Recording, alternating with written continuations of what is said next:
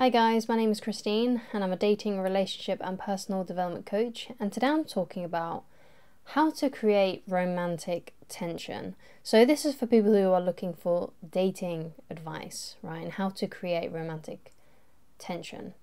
So the first thing that I want to get into is you got to if you want to if you feel like you're the one that falls in love a lot faster and you're kind of hoping to get the other person to um, feel more things for you, to want to be closer to you, so that romantic connection, uh, you know, begins.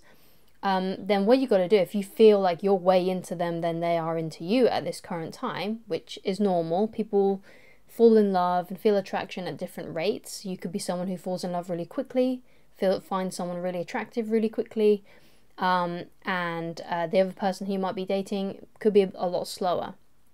So basically, if you want to create romantic tension, um, then what you got to do is when you're dating that person is that you've got to move way slower than what they are.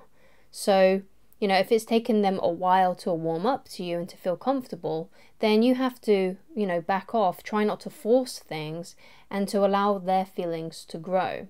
So, I'm going to go into a few ways that you can do that, how you can move a lot slower than what they are.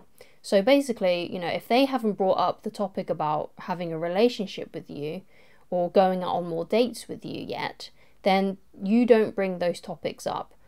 Um, what you got to stick to is like a sort of schedule where you only see them once a week or you only go on a date with them once a week. So that means you ask them out once a week, you make a date, and you go out on that date, and you keep going like that until they start warming up to you more.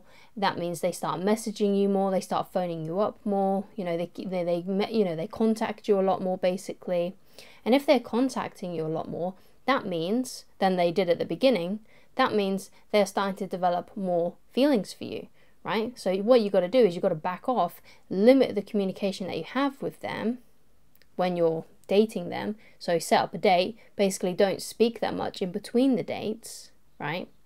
And when you do go on a date, have a great time, have fun, have a you know a great experience together where you can get to know each other and you get comfortable with one another, things like that.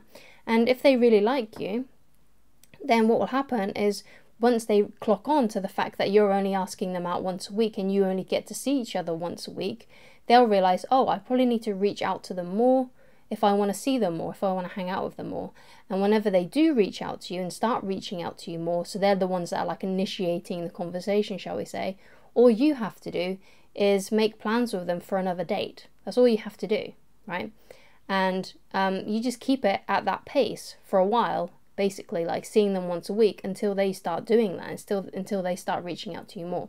So that's what I mean by going a lot slower so if they aren't talking about relationships and being in a relationship with you, don't bring it up.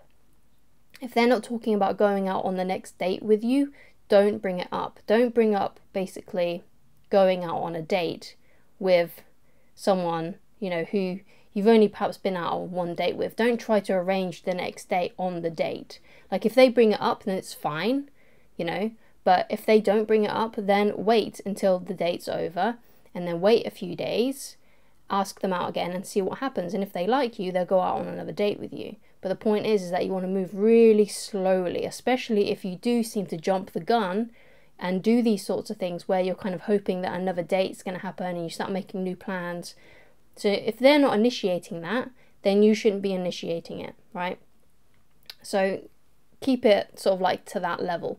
And the reason why I say you have to hold back is because you're the one that's seeking out this information, you're hoping to create more romantic tension, and you're probably one of these people like me who want to rush in really fast and have that romantic love story happen immediately, and you know, to you know, basically have that romance straight away. But sometimes it takes a while for people to warm up to you. And if you know, you're one of these people that jumps the gun and tries to make things happen faster to the pace that the other person is going, then you're the one that has to go slower. And you have to kind of leave the ball in their court a little bit for them to grow their feelings for you. And that's why I say, if they're not bringing it up about having a relationship, don't bring it up yourself because you're the one that likes to jump the gun, right? You're the one that likes to make things go faster. And that's why you don't bring up the topic about going out on another date because like I said, you're the one that jumps the gun and they're not. So it has to be their idea because it has to be them that falls in love with you now. Like you're probably already there. You're probably already hoping that this is going to turn into a relationship.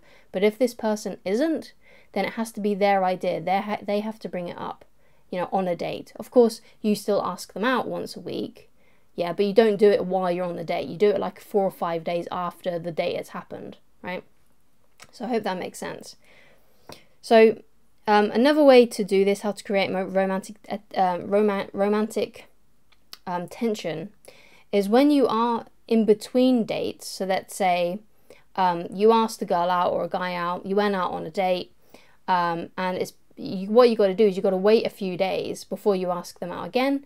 And when you ask them out on a date, leave it a few days in advance. Like, don't say, okay, how about we meet up tomorrow? Don't do that, right? What you got to do is you got to maybe maybe stretch out like a week, you know, in advance. So let's say you ask them out again on Monday and you see them on the Sunday or the Monday. You know, try and stretch it out because if they're not there yet, if they're not at that level yet where they're falling in love and you can sense that and you can feel like you're feeling a lot of things, but they're not really there, they're not really that into it yet then you have to leave a long time between dates and try to minimize contact between those dates. Because the idea is that you want to get to know them in person.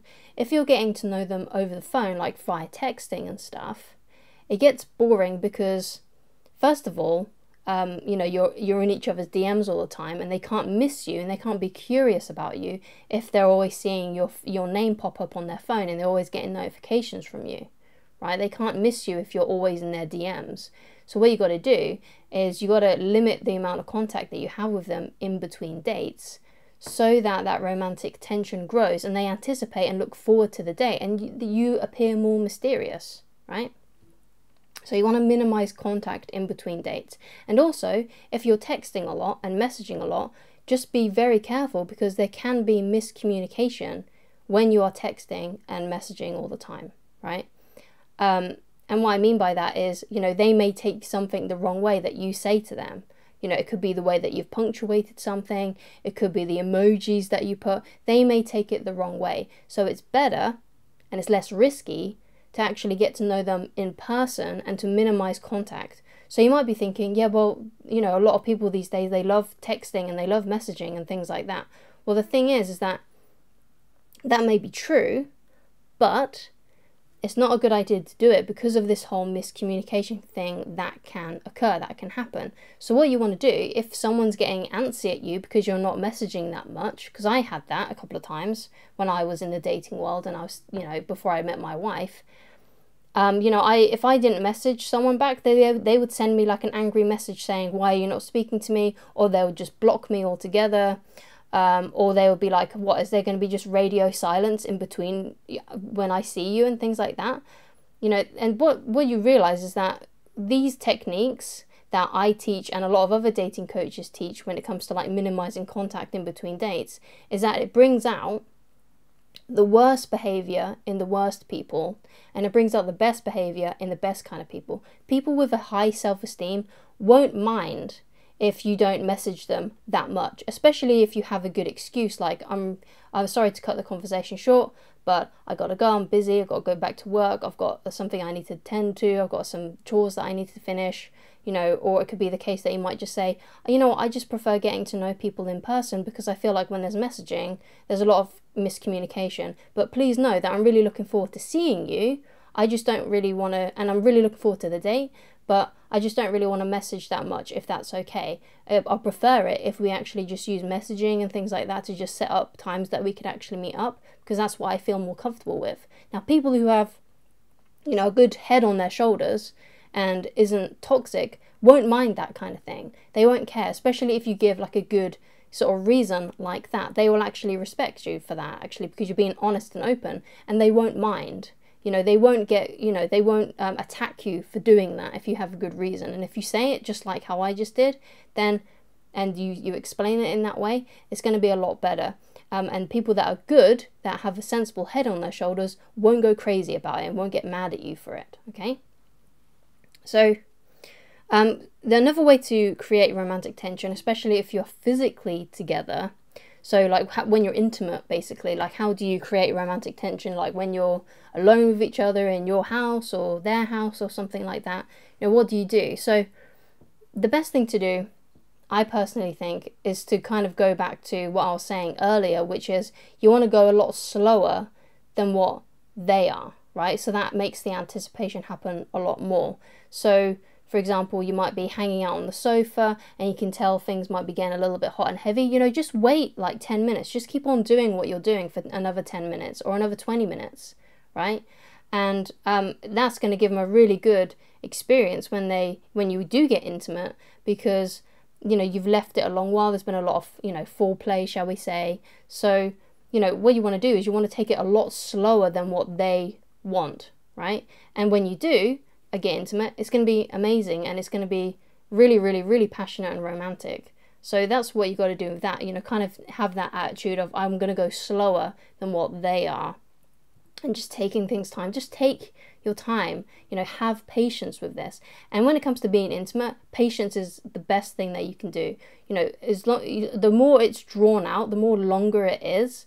Um, you know, the process, the foreplay, that kind of thing, the better it is. Trust me. Take your time. There's no rush, right? And you can have the best, they can have the best experience. You're going to have the best experience if you wait and allow things to just take their time. There's no rush. There's no rush. That's what you got to remember. That's what you got to remember when it comes to like the feelings and also with being intimate. There's no rush. Don't rush the dating process, right? Obviously, there are a couple of ways that you can speed it up uh, you know, a great way to actually speed up the dating process is to go to multiple places on a date because then it feels like you're having more dates, right? So you could meet up for a drink, then you might go out for a walk somewhere, you might look around the town, um, you might go and look at some landmarks, do a bit of, you know, tourist if you live in a kind of like a city where there's a lot of tourist stuff, or, you know, just go to some interesting places where you live, where you're hanging out, where you're on that date. Um, then you may go somewhere to like have like some appetizers, or you might go somewhere for ice cream, and then later on you go somewhere for a meal. Go, go to loads of different places, and that will kind of speed up that kind of dating process, and you'll have more experiences together. Because the more experiences you have together, basically that means you know the, the more connection you're going to get the better you're going to get to know each other and basically you know when you're with someone basically your whole life together you know um, if you if you are planning on spending your life together with someone, right? The, your whole relationship is all about a series of experiences that you have together. So the more experiences you have together, the more it feels like a relationship, and the more romantic it feels, the more intimate it feels, and you just get to know each other a lot faster, and you get to feel more comfortable around each other a lot faster because you're in different environments and different situations with each other. So the more different situations, the more different experiences you can have on a date by going to different places, doing different things, the better and the more faster you're going to get to know each other and the more quicker they're going to feel more comfortable with you. Um, and especially if it's fun, if it's you know you're having a laugh you're having a good time you know it's just positive emotion just everywhere then that's really going to give you like the best sort of dates and the last point i want to make is romantic connections and things cannot be forced, they have to be felt. So it could be the case you go out on a date, you try all these things, and it still doesn't work, they still don't feel anything for you. And it could be the process where you, you know, you, you've been on a few dates with them and things just aren't moving and you can kind of tell that they don't feel comfortable. And it may be just the case that this this person just isn't it, and you can't force something romantic to happen if the other person isn't feeling any romantic feelings towards you right? If they don't like you in that way, if they're getting uncomfortable around you, if they don't feel comfortable around you at all, you know, there's not really too much you can do about that situation. Um, except perhaps give it time and see if the situation changes.